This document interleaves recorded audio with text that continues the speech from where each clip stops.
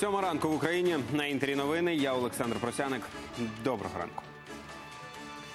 Бойовики і надалі нехтують великодні перемир'ям, б'ють на всіх напрямках. За добу майже 40 обстрілів, найбільше на Луганському напрямку. Під мінометним і гранатометним вогнем Троїцьке та Луганське. У районі Донецька бойовики обстрілювали Авдіївку, Шахту, Бутівка та Піски. Попри чималу кількість ворожих атак, минулося без втрат. Повідомили у штабі АТО. Головна умова введення миротворців на Донбас перемир'я в регіоні. Про це заявив Петро Порошенко під час зустрічі з воїнами 79-ї бригади в Волновасі. Президент наголосив, місія має розміщуватися на всій окупованій Російською Федерацією території Донецької і Луганської областей. Водночас Петро Порошенко закликав українських військових не на не шкодувати набоїв у критичних ситуаціях. І нам потрібні миротворці. Миротворці, які будуть присутні на всій окупованій території, результатом якого буде те, що російські війська підуть назад до Росії. Будуть миротворці, і вони заберуть артилерію, пушки, танки, міномети, системи залпового вогню, всім, чим обстрілювали багатостраждальну Донецьку землю назад до себе. Сьогодні в Україні стартує весняний призов. До кінця травня лави армії поповнять близько 15 тисяч строковиків. Повідомили у генштабі. Більшість з них майже 9 тисяч приєднаються до збройних сил України. 4 тисячі до Нацгвардії. Решта долучаться до прикордонників та держслужби спецтранспорту. Отримуватимуть строковики по 3,5 тисячі грошової допомоги. Стрілянина в Івано-Франківську сталося цими вихідними. Невідомі відкрили вогонь по відвідувачах нічного клубу. Наслідок двоє поранених і 11 затриманих. Шістьох поліцейські піймали на місці злочину. Після приїзду патрульних нападники намагалися відстрілюватися. П'ятеро спробували втекти на автівках. Їх наздогнали за кілька хвилин. У машинах знайшли з десяток автоматів та пістолетів. Поранені відвідувачі нічного клубу зараз у лікарні.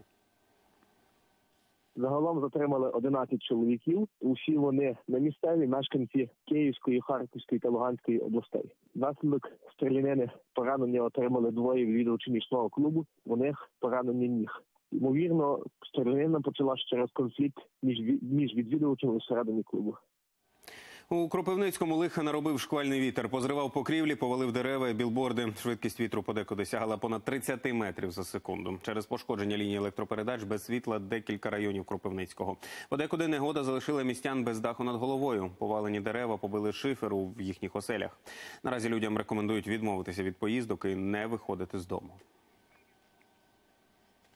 Із 1 квітня подорожчав проїзд залізницею. Тариф зріс на 1%. Ціна коливатиметься залежно від сезону. Що більший попит на перевезення, то вона вища. Тож літні поїздки обійдуться пасажирам найдорожче. Зростає вартість квитків на громадський транспорт. Одразу в кількох містах від учора пасажири маршруток, тролейбусів і метро мусять платити на гривню більше. Чи покращиться сервіс? Відповідь на запитання шукали наші журналісти. Не минуло й року після подорожчання проїзду в рівненських маршрутках, як перевізники знову зажадали за свої послуги на одну гривню більше. Аргументи зростання мінімальної зарплати і підвищення цін на пальне та автозапчастини. Багатьох перевізників е, вартість проїзду за їхніми розрахунками складала 6 гривень і більше. Ми перевірили ці інформаційні матеріали і зробили свій розрахунок. Висновок антимонопольного комітету, що вартість проїзду в маршрутках міста Рівне не повинна перевищити 5 гривень. Перевізники запевняють, 5 гривень за квиток вистачає лише на те, щоб вижити. Якщо в когось є ілюзія, що завдяки цьому підняттю перевізники покращать своє обслуговування, куплять новіші автобуси, е, ще, ще щось цьому ні, цього не відбудеться. 5 гривень якраз покриє от ту надбавку до вартості пального а, і запчастин. Платитимуть більше рівняни і в тролейбусах 3 гривні замість двох. А у Харкові проїзд в електротранспорті подорожчав ще минулого четверга з 3 до 4 гривень за поїздку. У метрополітені до 5 гривень. Аргументи чиновників ті ж самі. Але активісти, прорвавшись на засідання виконкому, пропонують спочатку провести аудит комунальних підприємств і з'ясувати, звідки беруться збитки, які потім компенсують з кишень харків'ян. Вопросы, также предложения. Не покупать э, трамваи и троллейбусы в 2-3 раза дороже, чем в других городах Украины. Утім, слухати критику чиновники не захотіли і одностайно вирішили підвищувати тарифи. В Ужгороді, крім зростання ціни квитка до 5 гривень, проїзд стане платним і для школярів. Їм доведеться сплачувати по 3 гривні. У мерії кажуть, ціну підняли на вимогу перевізників. У випадку підвищення будь-якого чинника або складової тарифу, будь то заробітна плата, паливно-мастильні матеріали, шини, акумулятори, е, ми зобов'язані переглянути тариф. Із середини квітня у трамваях і тролейбусах Львова за проїзд викладатимуть не 3, а 5 гривень. Це якщо купувати квиток у спеціальних кіосках. У водія ж дорожче. Утім, перевізники навіть такий тариф вважають за низьким. Після того, як зросла вартість на дизельне пальне, е, ми не встановили тариф, який би мав бути. Встановили тариф 5 гривень. Тобто ми не привели у відповідність е, ріст е, пального до того тарифу, який був. Рішення про подорожчання у Львові ще повинна затвердити міська влада. Катерина Стрілкова, Сніжана Сидорук, Марина Коваль, Світлана Шекера, Микола Василюк, Галина Якушко. Новини телеканал Інтер.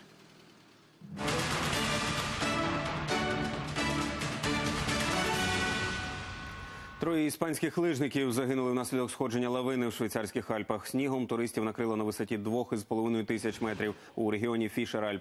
Лижників було п'ятеро, двоє вижили. Їх вчасно знайшли рятувальники за допомогою датчиків, які показували місце перебування постраждалих і передавали сигнали тривоги.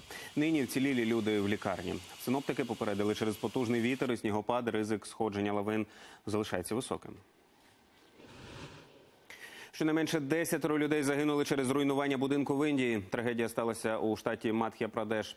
Чотириповерхова споруда упала після того, як у неї на повній швидкості в'їхав автомобіль. Щоб витягти людей з під завалів, рятувальники задіяли екскаватори.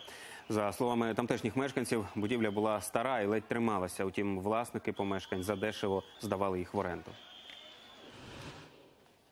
Педагоги з залізними нервами відтепер є у Фінляндії. В одній зі шкіл влаштували технологічний експеримент. Упродовж року тамтешніх учителів замінятимуть роботи. Як машини навчають малечу математики і англійської та чи дають раду бешкетникам? Дивіться. Еліас, новий вчитель іноземної в школі міста Тампере, ніколи не втомлюється повторювати одне й те ж. Він готовий відповідати на безліч запитань малечі навіть танцювати.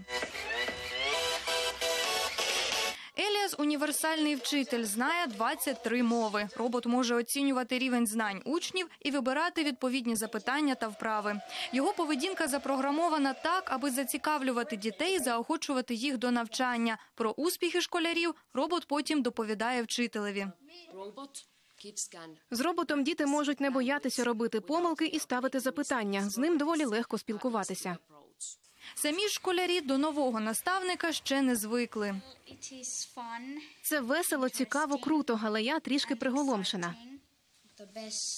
Найкраще те, що він може розповідати і допомагати нам. Уроки математики викладає інший педагог. Маленький робот, схожий на сову. Таких машин у школі закупили одразу три. Їх не лише запрограмували, а й виготовили у Фінляндії. Це не найновіша ідея, але ми поєднали в одне ціле все, що було розроблено раніше, і першими втілили цю ідею в життя. Технологічний експеримент розрахований на початкову школу і триватиме рік. Вчителі сподіваються, що завдяки цікавим урокам діти більше тяжітимуть до школи і краще навчатимуться. Думаю, основна мета цього проекту заохотити школярів бути активнішими. Еліас, до прикладу, знає дуже багато управ, допомагає практикувати мову. Тож роботи частина нової шкільної освіти, і вчителям потрібно до цього звикати. Схожі експерименти вже проводили у Сполучених Штатах, на Близькому Сході та в Китаї. Єдина проблема заспокоювати малих бешкетників роботи ще не навчилися. Тож за свої робочі місця вчителі старої школи можуть не перейматися. Анна Філь, новини, телеканал Інтер. Учені НАСА вперше показали, як тануть сніжинки. Для цього розробили об'ємну модель. Там видно, що спершу на воду перетворюються крайні кришталики. Потім тепла вода накопичується на увігнутих частинах сніжинки і поступово підбирається до ядра, поглинаючи його. На думку дослідників, наочна модель танення снігу дасть змогу визначати можливі зміни клімату і точніше прогнозувати погоду. Змагання із кидання яєць влаштували в німецькому місті Хорхаузен. Це великодня традиція, е, якій вже понад 80 років. На заваді е, не стали навіть по- погода, щоб перевірити свою вправність і майстерність у метанні крашанок. Десятки людей кілька годин чекали своєї черги під дощем. За правилами, кожен учасник битви має право лише на одну спробу. А після удару об землю варене яйце має залишитися цілим. Поки що це все. Свіжа порція новин буде о восьмій. Тоді побачимося. До зустрічі.